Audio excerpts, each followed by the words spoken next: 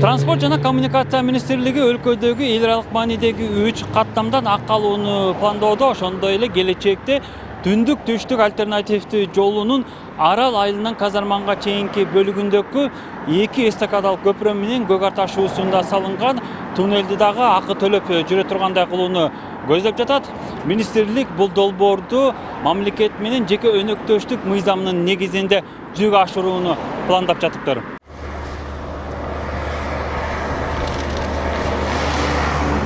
Акы алына турчу каттамдардын сап башында бишкектин четиндеги айланма жол турат тагыраагы бишкек нарын тооругарт унаа жолунун токмок шаарынан баштап бишкек кара балта каттамына барып кошулганга чейинки бөлүгүн камтыйт узундугу жүз беш чакырымды түзгөн тилкени транспорт жана коммуникациялар министрлиги жеке инвесторлорго берүү менен жолун жасатып андан акы алууну көздөөдө болжолдуу эсептөөлөр боюнча айланма жолду жаңылоого жүз элүү миллион доллар коротулат экен бул сумманы жеке компания өз эсебинен чыгарат жолду жаңылоого короткон акчасын айдоочулар төлөгөн каражаттын эсебинен кайтарып алат экен. Он эки он үч жылдын ичинде ал жол баягы ошол жанагы салган кишинин карамагына өтөт.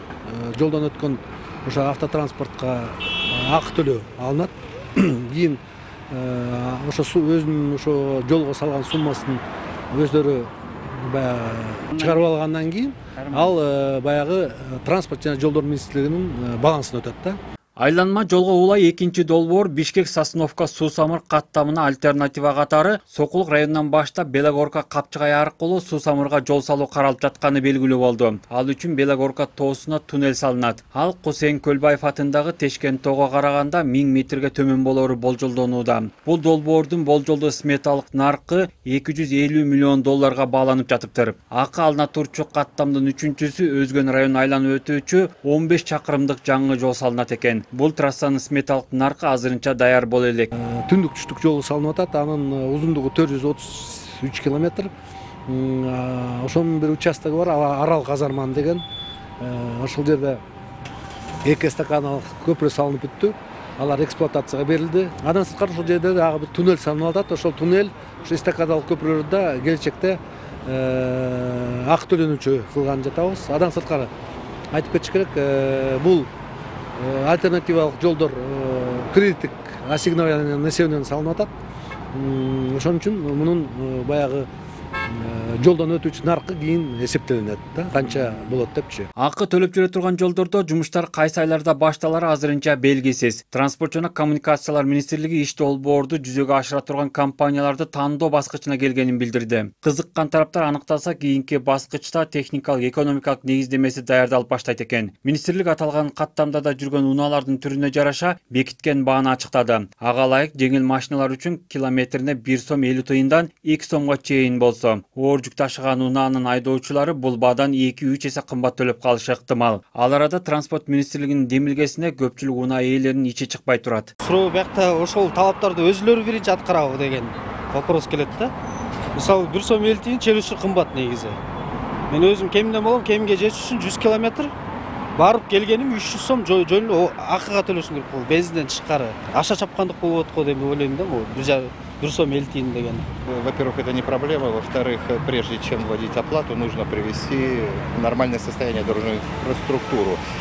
Как для платной дороги она не соответствует. Негизи биз жанагы сосновкадыкындай болот го деп ойлогом да анан эми туура эмес го дейм мен негизи каршы элемин километрине ошондой болот болчу анан канча акча чыгып кетет чынбы биз мына биз айланып көлгө барабыз тияка бияка барабыз айылдарга мен туура эмес деп эле ойлойм мисалы үчүн ошо километрина деген азыр угуп атам анычы анан эми жумуш жок болсо айлык эме болсо анан биз машина десе бензиндин кымбаты бул болсо анан эми жолдорго акча ала баштаса анан кандай болот билбейм анда кыргызстан оңолбой эле жоголот го такыры прежде чем сделать менимче бул демилге жөн эле абсурд. экинчиден муну ким иштеп чыкса да толук иштеп чыккан эмес. Биздеги жолдор акы ала турган талаптарга жооп бербейт. Анан кантип акча алабыз деп жатышат түшүнбөй жатам. эски жолдорго альтернатива катары салып акы алабыз деп жатышат. акы төлөнө турчу трассаларда жүргөн машиналарды кантип аныктайт? Акчаны кандай жол менен чогултат? Мунун баардыгы толук иштелип чыкпаганы көрүнүп эле турат. Ошол эле учурда жолдордон акы алуу демилгесин колдогондор дагы жок эмес. Алар мындай ыкманы биринчи кезекте коммерциялык транспорт каражаттарынан тагыраак автобус жүргүнчү ташыган кичи бустардан жана оор жүк ташыган айдоочулардан баштоо зарыл деп эсептешет. Акы төлөнүүчү системаны киргизер учурда бул деген баягы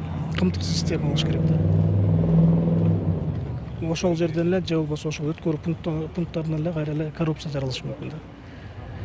Мисалы үчүн системадан сырткары бир баа коюлушу мүмкүн баягы мыйзамсызбы а системаны өткөндө өзүнүн баасы коюлушу мүмкүн да албетте биздин айдоочулар мыйзамсыз системаны тандайт анткени ал арзан болот да ошондой эле жана мен айтып өткөндөй коммерциялык транспорт деп атпаймынбы бизде мисалы үчүн шаар аралык таксилер бар ошолор дагы бир категорияга келтириш керек болот да анткени алар жеңил унаанын категориясына кирип калат но бирок коммерция кылышат бул анткени өзүлөрүнүн прибыль алышат да прибыль же болбосо киреше алат ошолор дагы бир нукка келтириш керек жолдордон акы алуу демилгеси биринчи жолу көтөрүлүп жаткан жок эки миң он сегизинчи жылы дагы сунушталып бирок коомчулуктун каршылыгынан улам токтоп калган ал арада транспорт жана коммуникациялар министрлигинин көтөргөн сунушу боюнча президент садыр жапаров кечээ маалымат каражаттарынын бирине курган маегинде өз пикирин билдирип буга каршы экенин айтты учурда шаар жана айыл аралык он тогуз миң чакырымга жакын автожол бар анын жети миңдей чакырымы гана асфальтталган